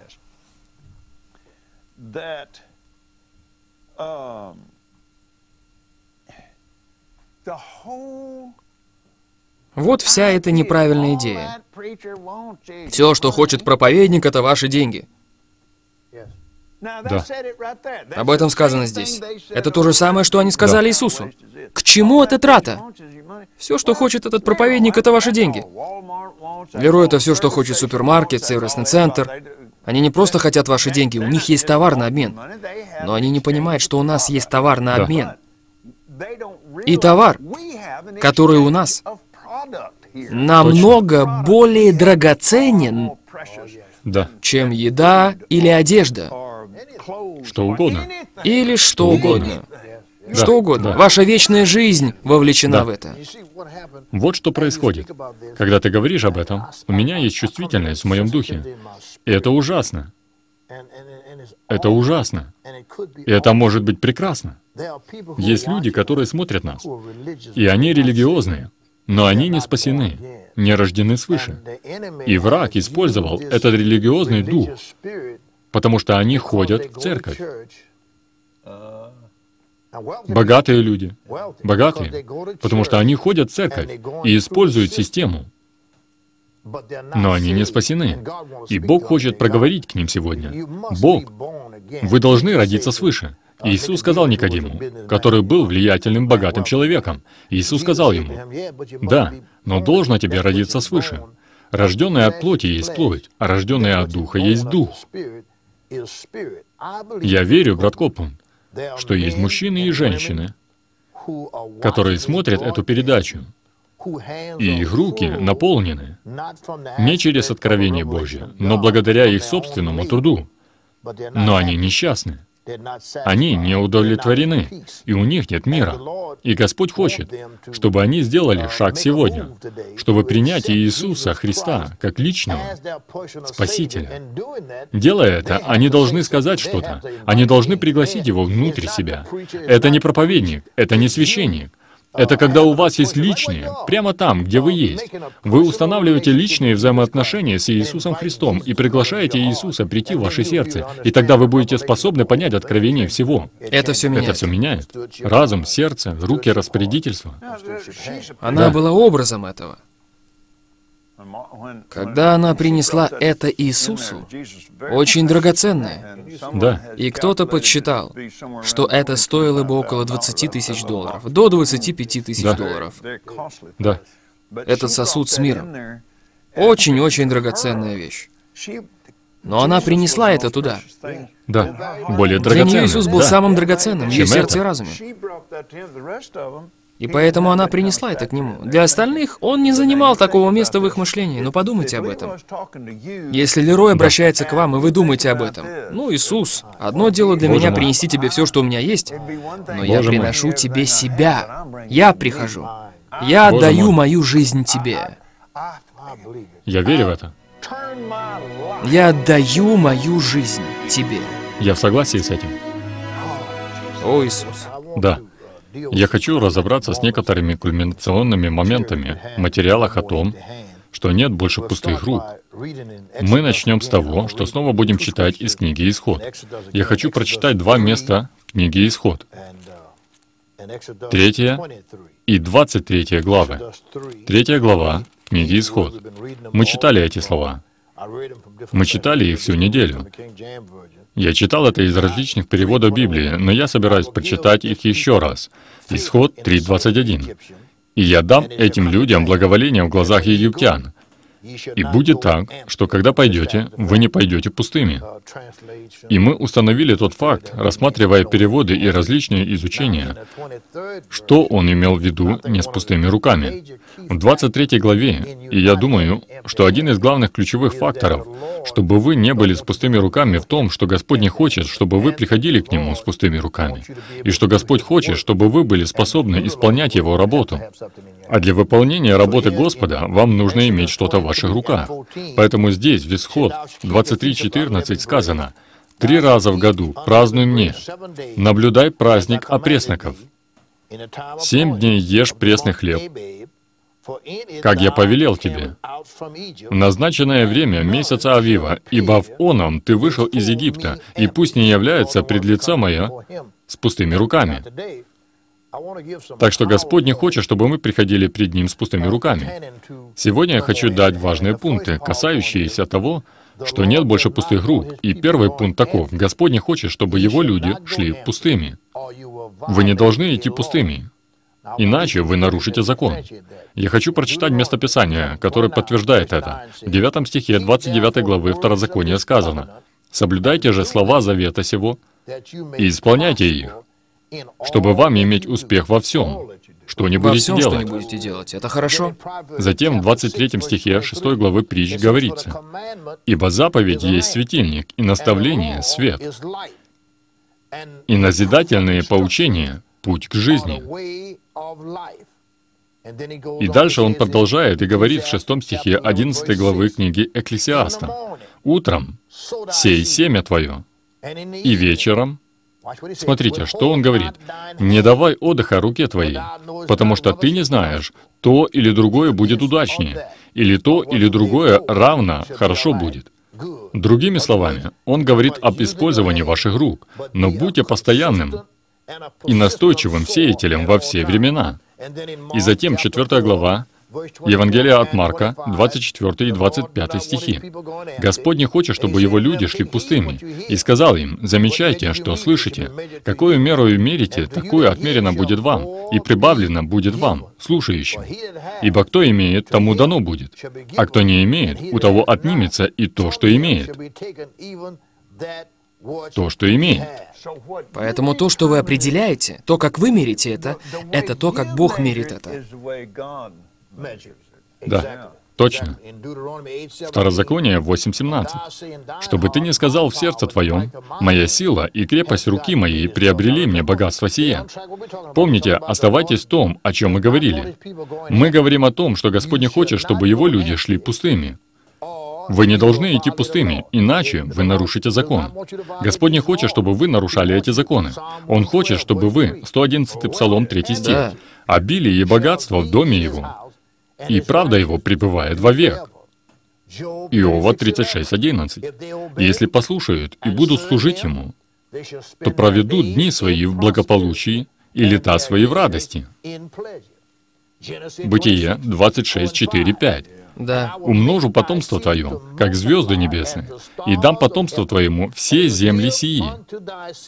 Благословляться в семени твоем, все народы земные за то, что Авраам послушался гласа моего и соблюдал, что мною заповедано было соблюдать, повеления мои, уставы мои и законы мои. Да. Да. Когда мужчина или женщина хранят законы, уставы, повеления Божьи, они не могут быть с пустыми руками. Бог не хочет, чтобы у них были пустые руки. Важный пункт номер два. Господь хочет обильного умножения и перетекания через край в вашей жизни. 113 Псалом, 22 стих. Все это я написал в моей книге. Да приложит вам Господь более и более. Как получается, что люди не видят этого? Вам и детям вашим. Я имею в виду Писание за Писанием. Еще раз, Псалом 111.3. «Обилие и богатство в доме его, и правда его пребывает вовек». Важный пункт номер три. Если вы приходите перед Ним пустыми, Он не может выполнить свою цель для вас. Если вы приходите перед Ним пустыми, Он не может выполнить свою цель ни для вас, ни через вас. Важный пункт номер четыре. Он не сможет утвердить божественное распорядительство через вас, чтобы исполнить свою миссию на земле, что очень важно для Бога. У Бога есть миссия на земле. Вот почему я написал книгу «Деньги с миссией». Эта книга, опять же, мне всегда нравится говорить об этом, потому что я вышел из «Деньги приходят». Я знаю, что это было божественное, пророческое слово от Бога, потому что это так сильно повлияло на мою жизнь, и затем это начало влиять на людей. Когда я проповедовал в собрании брата Хейгена, Кеннет Хейген-младший сказал мне, «Отец хочет, чтобы ты проповедовал два часа». Я не знал этого. Я получил. Получил это откровение, деньги приходят, и поэтому я сказал, «Хорошо». Он сказал, «Отец хочет, чтобы ты проповедовал». Я сказал, «Да, я буду проповедовать».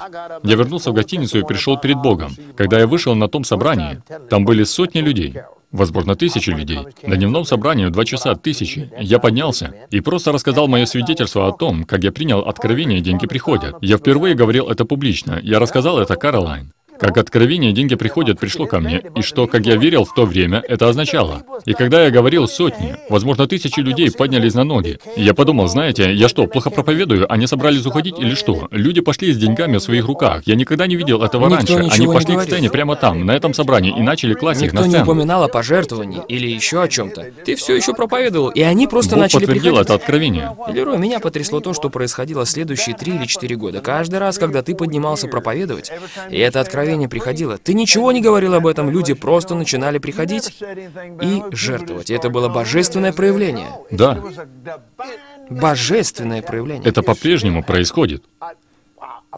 Когда помазание сходит на меня, я никогда ничего не говорю. Каждое воскресенье в моей церкви я проповедую, и вдруг люди поднимаются со своих мест и кладут деньги на алтарь. Это доброхотно дающего любит Бог. Он высвободил это в том пророческом слове и дал людям сердце жертвовать, чтобы они хотели давать. И, брат Копланд, многие стали свободными от долгов, следуя за этим откровением. Они стали свободными от долгов. Это уж точно помогло мне. Многие. И то, что произошло со мной, я никогда такого не видел. И поэтому, когда я впервые услышал, как ты проповедуешь об этом, это высвободило что-то во мне. До того времени, Лерой, я никогда не поднимался и не выходил для того, чтобы жертвовать. Я не нарушал порядок проповеди или еще что-то. Я не ходил, когда кто-то проповедует. Да. Да. Но это просто было так притягивающе. Это было так сильно. И мне даже на ум не приходило, что я делаю что-то неправильно. Я просто начал смотреть, что у меня есть в карманах. Я хотел сделать это, я хотел посеять. До этого дня, до этого дня, я посреди откровения, и человек подходит ко мне и дает мне что-то. До этого дня. Господь не позволяет мне ругать их или еще что-то. Я просто принимаю это. И знаешь, я не теряю это откровение. Они дают это не Еще кое-что приходит прямо Это вместе с просто этим. помазание. Они отдают это Богу, они отдают это Богу, и затем они становятся доброхотно дающими. И на том же собрании, я вернусь к нашей теме, на том же самом собрании я сделал заявление. Я сказал, это будет самое большое пожертвование на собрание в два часа, которое когда-либо собирали в истории этих собраний. Знаете, вы говорите что-то такое. Что я сказал? Когда я получил отчет, это было самое большое пожертвование. Это Бог подтверждал то помазание, и Он подтверждал это и после. Я сказал, если бы у меня был кто-то, чтобы написать мои книги так, как книги брата Хейгена, и при этом не выбрасывая меня из книги, оставляя мою личность в книге, Бог, я был бы счастлив. Я пошел кушать, пришел туда, зашел в фойе, и брат Хейген, женщина, которая делала книги брата Хейгена, сказала, «Брат Лерой, я ваш человек, меня зовут Бекки, я делаю все книги брата Хейгена. Если вам нужно написать книги, я позабочусь об этом для вас». Бог подтверждал это откровение весь тот день, подтверждал это откровение. Но в любом случае, Он не может утвердить божественное распорядительство через вас, чтобы исполнить Его миссию на земле с пустыми руками. Важный пункт номер пять. Брат Копланд, он желает, чтобы что-то было в ваших руках, чтобы вы могли привести в действие его принципы, его планы, его обетования. Вы помните, мы говорили об обетовании, плане и цели. Он желает, чтобы что-то было в ваших руках, чтобы вы могли активировать его принципы его план, и его обетование, закон сеяния и жатвы. Бытие, 8 глава, 22 стих. Он говорит, «Впредь во все дни земли Да. сеяние и жатва, холод и зной, лето и зима, день и ночь не прекратятся». В послании Галатам 6.7 он сказал, «Не обманывайтесь, Бог поругаем не бывает. Что посеет человек, то и пожнет, то и пожнет». Важный пункт номер шесть. Все, что нужно Богу, это семя. Нет семени, нет урожая. Богу нужен вход. Я объясню это.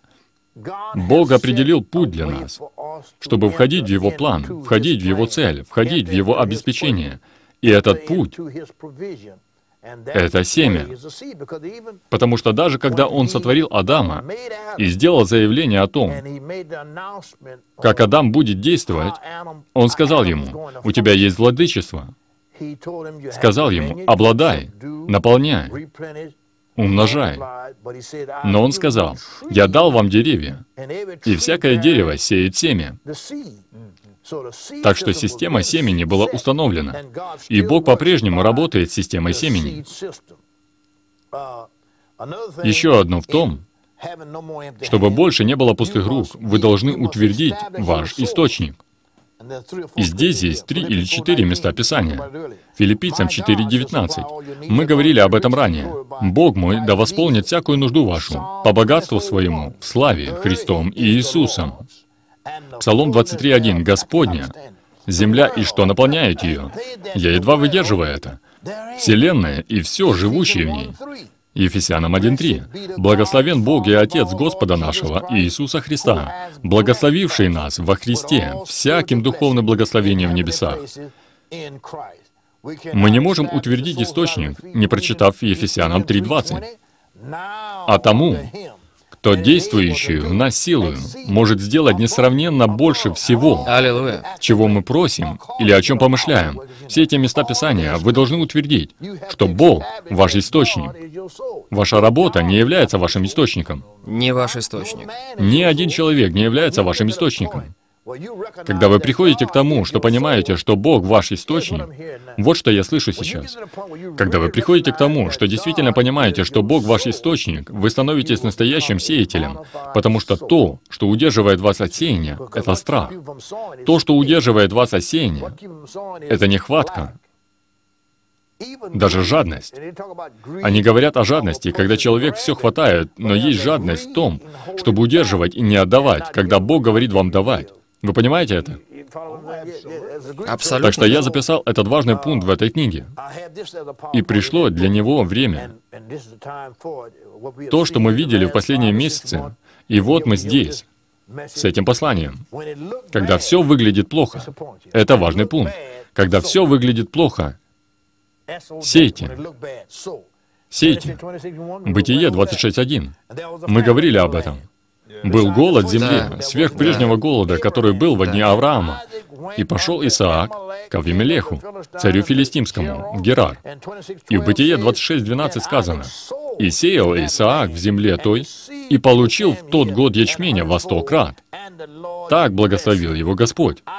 Я никогда не смогу сделать это иначе, чем через божественное определение, из-за миссии, которая у меня есть. Я должен быть очень внимательным в том, как я обращаюсь с деньгами. И когда я обращаюсь с деньгами, потому что у меня есть помазание. Но знаете, это важное время. Сегодня пятница.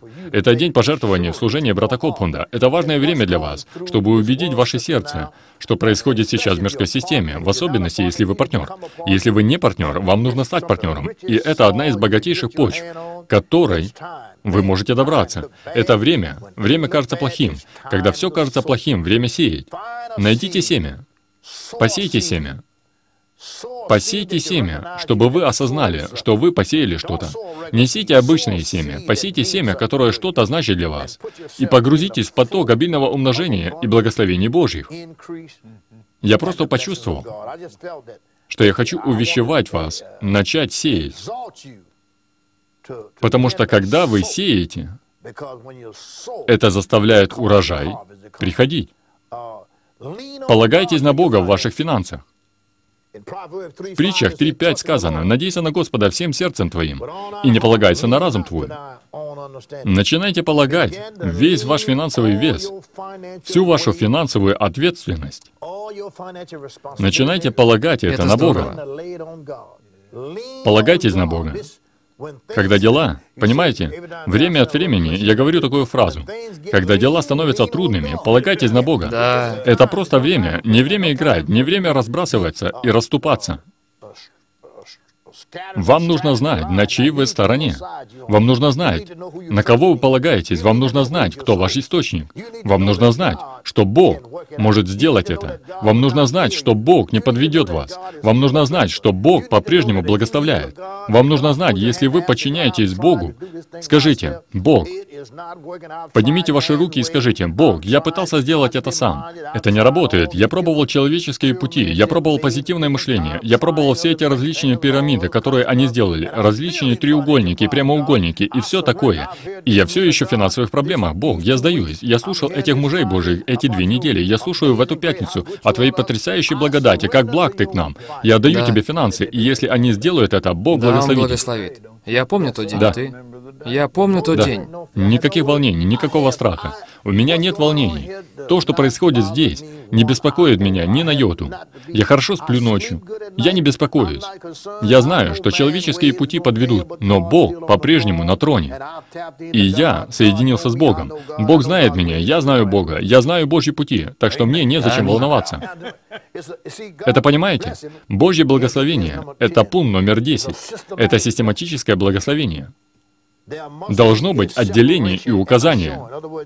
Другими словами, Бытие 12.1. Да. «И сказал Господь Аврааму, «Пойди из земли твоей». Понимаете, должно быть отделение. Вы должны отделить себя от мира, от родства твоего и из дома отца твоего. И теперь приходит указание. Бог сказал, «Если вы сделаете это, землю, которую я укажу тебе, есть определенные вещи, брат Копланд, от которых мне нужно удалиться. Это не обязательно грех. Просто определенные люди, от которых я должен удалиться. Люди, высказывающие сомнения и неверие до такой степени, что это оскорбляет Духа Святого. Когда вы сомневаетесь в Боге, вам Да, нужно вам уйти нужно. от таких людей. Знаете, и затем Господь, когда вы делаете это отделение, затем Господь сказал Аврааму, «В землю, которую я укажу тебе». Когда Господь дал мне откровение, нет больше пустых рук, я сказал, «Бог, куда мне идти с этим? Покажи мне, как научить этому тело Христова». Я почувствовал в моем сердце, что это было пророческое слово для Царства Божьего. Я верю в это всем моим сердцем. Фактически, Господь сказал мне во Флориде. Это послание последнего времени. Он сказал мне. Он сказал, не пиши, деньги приходят на футболках и наклейках. Это гораздо Он сказал, даже не... Это не просто какая-то Да. красивая фраза. Они написали песни из этого. Но я, знаете, я просто... Я не поддерживал никакие песни, потому что Бог сказал, это не песня. Он сказал, это пророческое слово для моих людей в это последнее время. Фактически, когда Бог говорит, «Я иду искать церковь без пятна и порока», один из самых больших пороков в церкви — это то, что она нищая. И Он говорит, «У меня есть работа, которая должна быть сделана». И Бог говорит, «Это послание будет здесь». С того дня, как я открыл мои уста и сказал эти слова, деньги приходят, они не потеряли ни одного грамма силы. Я был на собраниях, и я упоминал эти слова, и сила Божья все равно сходила на то место, потому что Бог сказал, это послание ведет ко второму пришествию Иисуса. Христа. Я использую это все время в моем учении. Я думаю, это твоя мама говорила тебе, что Иисус грядет. Да, я использую это все время. Я использую это в моей церкви. Я говорю, она говорила брату Купунду, Иисус придет сегодня. И проходил день, а ты говорил, мама, я думал, что ты сказала, что Иисус Да, она говорила это да, каждый но день. он придет сегодня. Я говорил, это было задолго до того, как я спасся. Да. Я, знаете, я шутил. Приготовься, он идет. И говорил, мама, Иисус не пришел сегодня. Да. Она говорила, он придет завтра. Да. Она говорила это каждый день. Она жила так. Она жила. Она жила так, с ожиданием пришествия Иисуса. Да. И я думаю, что вы можете оставаться на острие, если вы делаете это. В Библии сказано, что никто не знает ни дня, ни часа, когда Он придет. И именно так я остаюсь на острие. Сохраняет вас свежими, сохраняет вас Да. готовыми, слава Богу. Но это послание последнего времени. И я молюсь, чтобы это было благословением для людей, которые слушали. В книге есть очень много материала, которые мы не смогли охватить. Есть очень много всего. И я пытался Да, донести но, часть из никогда этого. не было но времени такого, как это время. Я думаю, Никогда не было времени такого, как это. и вы должны услышать. Вам нужно услышать это. У вас нет выбора. Мирская система разваливается, трещит по швам. А Божья система поднимается из этого. И это та система, Божья система, в которой вы хотите быть. Это та система, Это место, которое быть. называется «Под кровом Всевышнего». Пятница всегда является на передаче «Победоносный голос верующего» днем пожертвований. Наставляемый словом, делись всяким добром с наставляющим. Не обманывайтесь. Бог поругаем не бывает. Что посеет человек, то и пожнет. Итак, делая добро, да не унываем. Ибо в свое время пожнем, Если вы не сдадитесь и не бросите это. Пожнем. Я молился об этом. Да. Это Да. было в октябре 2008 года, когда вся эта неразбериха стала очевидной. Это было, кажется, 20 число, воскресенье. Я молился, и ко мне пришло слово от Господа. Я хочу, чтобы вы послушали, что он сказал, потому что это полностью соответствует. И вы сеете. Сегодня вы сеете все, что Дух Божий говорит вам сделать, но имейте это в виду. Я скажу это вам, чтобы вы это знали. Не обращайте внимания или не стройте никаких планов, основываясь на том, что говорят средства массовой информации или политики. Стойте на моем слове в 16 главе Евангелия от Иоанна. Да. Это где он сказал, «Я пошлю к вам Духа Святого, и Да, все, что он верно. услышит, он будет говорить. Слушайте его». Обращайте внимание на меня. Я, Дух Святой, буду послушен стихам с 13 по 15. Я возвещу, покажу вам то, что грядет. Я буду вести вас, когда вы будете проходить через сложные времена. У меня уже есть для вас конкретный план, и он очень хороший. Следуйте ему. Он не только проведет вас, он поставит вас на очень высокое место, богатое место, сильное место победы. Вам придется дисциплинировать себя и быть усердными, чтобы слушать меня. У всех остальных голосов будет план, слово, идеи для вашего будущего и вашей безопасности. Не слушайте вавилонскую систему. Она развалилась на части. Моя система сильна, как никогда. Мое царство процветает, и главное благословение является тем местом, где нужно быть. Продолжайте смотреть на мое слово. Слушайте его. Оно будет вести и направлять вас, и я исполню его. Любите меня. Любите мой народ, как я возлюбил вас. Ходите в любви. Любовь никогда не терпит поражения, а также и мой план, говорит Господь. Да. Да. 1 Тимофея 6.10. Господь повел нас к этому. Должно занимать первое место в вашем мышлении. Если вы будете все это делать и пребывать в этом, вы войдете в свое богатое место. Место превознесенное. Место во мне. Уже запланированное и приготовленное для вас сейчас. Здесь, не на небесах. Пока нет. Но оно будет казаться да. небесами прямо посреди всех бедствий. И вы сможете простереться к огромному количеству страдающих людей с благой вестью Евангелия. Я очень скоро гряду, раньше, чем вы думаете. Продолжайте смотреть на меня, и вы сделаете эту работу. Аллилуйя. Слава Аллилуйя. Богу, Господь. Мы продолжаем смотреть на Тебя. Аллилуйя. Во имя Слава Иисуса Богу. мы молимся за эти пожертвования. Мы Слава принимаем Богу. их. Во имя Господа Иисуса Христа. Аминь. Аминь. Если вы живете за пределами Соединенных Штатов, то ваше пожертвование не пересылается в Соединенные Штаты. Оно остается в том регионе, в офис которого вы его отправляете. Хвала Господу. Аминь. Вот что я вам скажу. Если вы будете в Луизиане, вы знаете, что делать, верно? Вы знаете, куда пойти в церковь, верно? Слава Богу. Смотрите наши передачи на следующей неделе. Это будут отличные передачи. Аллилуйя. До встречи. Спасибо тебе, Лерой. Пусть Бог благословит тебя. И помните, Иисус Господь.